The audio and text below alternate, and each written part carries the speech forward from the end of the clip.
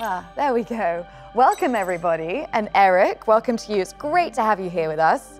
What's new with Yamaha? It's also great for me to see you again and to share with you this moment because when we meet together, usually it's because we have something to present. I would like to speak today about uh, mobility, you know, urban commuting, new evolution in the way we live in the city, because we know that the contrasts are increasing a lot. In the, in the past years, we have seen that we must move on sustainability, efficiency, environmental respect, and obviously Yamaha wants to contribute. We must support somewhere a better life for our citizen, the citizen of the cities. So we have been working in that direction in respect with the main quality of the two-wheelers, which is freedom, freedom. No. How can I get when, that? When you ride two-wheelers, you are free. So what we wanted to mix the best of technology, the best of sustainability with the best of the two-wheeler, the freedom. And we have been working around this concept, how to keep the freedom for our users in respect with a better society. So what does this Yamaha's switch on mean? Switch on means that now we are turning on the electric, mm. starting a new challenge and a new way of living the city, creating emotions, moving free and sharing fun. In the coming 12 months, we will reveal many new models. During the past two years, we have been revealing different concepts, and especially one, the E01, was presented in Tokyo Motor Show two years ago, and this one will become true now. And it's here, isn't it? Is this not it right here? This concept is super interesting because this is the first one on the equivalent on the 125 scooter. However, for the moment, it will not be sold. We will select one big capital in Europe, Paris, Milano, Roma, this, this uh, level of city, and we want to make the full experience, which means that this vehicle will be available as a sharing fleet. You know, you can use it whenever you want. And we will have also some partnership with uh, governmental agencies or local administrations just to get mileage experience. And after two to three years max, all the learning will be there. And we will be sure that we will be able to launch the final models for the consumers within a reasonable delay. If we had to take a snapshot of this moment of mobility for Yamaha, what does it look like to you? The picture is relatively wide and we try to innovate, to conceptualize different solutions in respect with social reality and sustainability. So you need technology, concept. You need to hear the needs of the customers and you have to think to check what is the best technology and to combine the both. So actually we are experimenting different size, different format, different approach of mobility and usage of two-wheelers. And it's quite enthusiastic, honestly. It's a fantastic period. Well, I've got a question for you. Yeah. Is it because Yamaha is investing in electric due to this market demand necessarily? Fortunately not because Yamaha has always been considering the electricity as a solution, but already starting more than 30 years ago. Really? Yamaha did electric golf cars. Yamaha did electric uh, outboard engines. Yamaha did the first concept, the Frog. But the Frog was a clear concept of a scooter, electric, in 1991. And then two years later, we have been introducing the first PAS, which was the first electric bicycle. We were pioneer. So Yamaha has always been looking for future, trying to open new doors, new fields. Fortunately, we have all this background. We have now transcript in this new lineup of concept and vehicle. Well, you're making accessibility and convenience for everybody now, aren't you? Obviously. Obviously, because the mobility is a need for everybody. You can be 80 years old, 12 years old, you need it. You need it.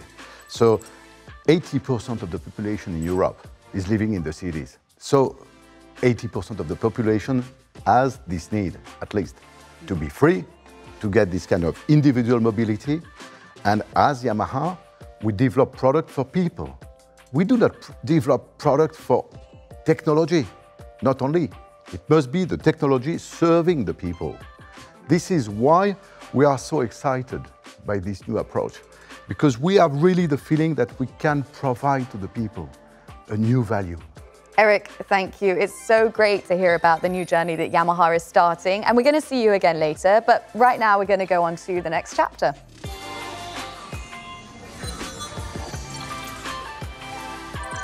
Well, as we're discovering, Yamaha is electric. And I'm really pleased now to be joined by Paolo. Welcome. Ciao, Imi. Yes, I'm very happy to be again here with you. And what you said is actually true. We are making this move into electric in order to really expand our proposal in the urban mobility very important segment. All right, well, you've got a scooter here, Paolo, that I know is bringing back a very important name. Yes, actually, Neos has been a very important part of our let's say, scooter history. We introduced it in 1997, and we had both the Yamaha Neos and back in the time the MBK version, which was called Ovetto, of course with combustion engine back in the time. We evolved the scooter for 15 years uh, up to the last four-stroke version, and we can say, yes, the Neos and the Ovetto, they have really moved generations of customers. And Paolo, am I right in saying that the 50cc scooter market has changed a lot in recent years? Yes, Amy. This segment had been under strong pressure in the past 10 years due to regulation changes and a wider offer of entry 1 to 5 scooters. However, more recently, this segment, as supported by the growing demand for electric scooters, is showing again interesting trends, with the electric scooters market almost doubling in the past two years. Urban customer mindset is more and more looking for electric solution. The offer is growing, as we said, and the evolution of traffic and infrastructures in many big cities around Europe are all factors contributing to accelerate the trend. Okay, so how does NEOS fit into that? The new NEOS is designed to contribute to those customer needs. It is practical, functional, and it will represent also an excellent solution for commercial usage or sharing platforms. So the quality, performance and design of your products are not to be questioned. Can you give me three words to describe this new scooter? I would say smart, qualitative and accessible. Smart because thanks to the removable batteries, it will be easy to charge it everywhere, which is very important. Qualitative because we will bring in this segment the standard of a premium manufacturer as we are, as Yamaha is accessible because it is designed to fit the needs of a very wide urban population. And the logo color, I can see it's now on all the scooters. Well, it's not by coincidence, of course. It's a combination of our Yamaha Racing blue color and green, which is the color representing clean energy. And it will be the DNA color of all our electric offer. We call it Aqua, and you will see it on more and more products in the coming years. Well, that's good news because it's really beautiful. I'm happy you like it. How do you define the target rider of this scooter? Who are you seeing? We really see a wider audience for it. What will connect all of them is the need to move inside big crowded cities all around Europe. And of course the fact that those customers, they want to do it in a sustainable way, but without giving up on the freedom of their personal mobility. But how long does everyone have to wait? The Neos will be unveiled in a couple of weeks. And at that moment, all details will be explained, of course. Then it will start to be available in Europe within the spring. So we have not much to wait for it. Yeah, that's really soon. Looking forward to it. Well, Paolo, thank you so much for explaining everything to us today. It's a pleasure, Imi, and I hope to see you riding it very soon as well. Me too.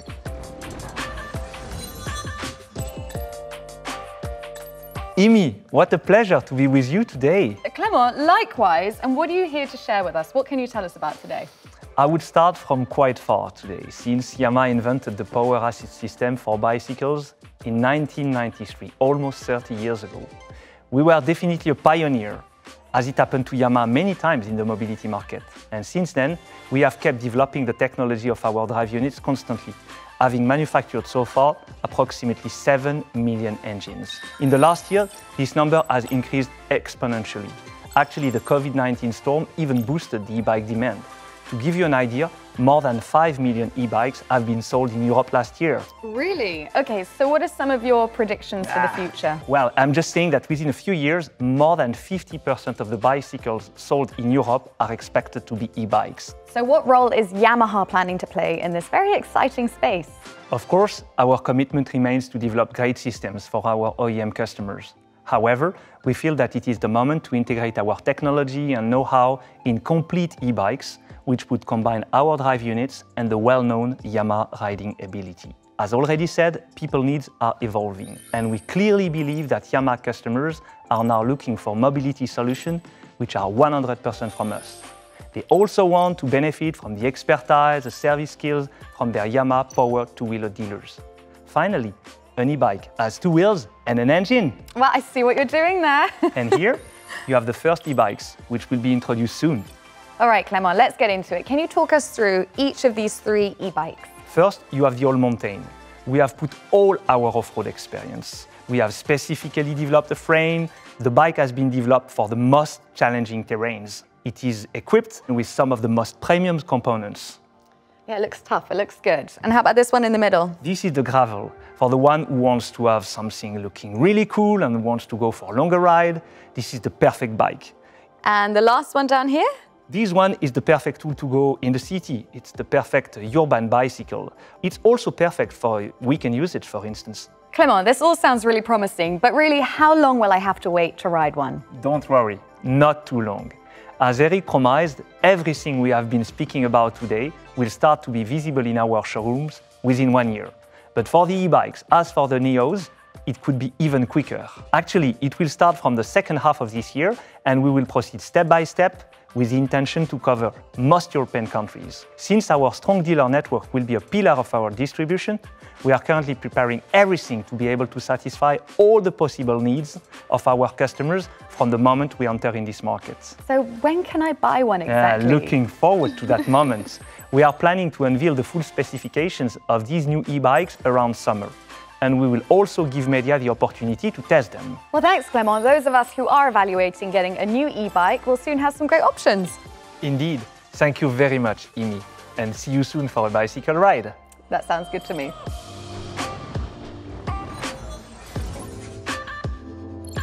Eric, good to have you back. Now, we've spoken to Clement, we've spoken to Paolo, and we've understood that you are definitely switching on at Yamaha. What else can you share with us? I've said at the beginning that uh, now we switch on and you must have a wide vision mm -hmm. considering all different concepts. So we touch scooters, big scooters, small scooters, e-bikes. And the last product, which makes sense to reveal with you, is the B01. In all activities, there is always a cycle. And you have to reinvent what has been done in the past with new eyes, new technology, new concept, listening to people, etc.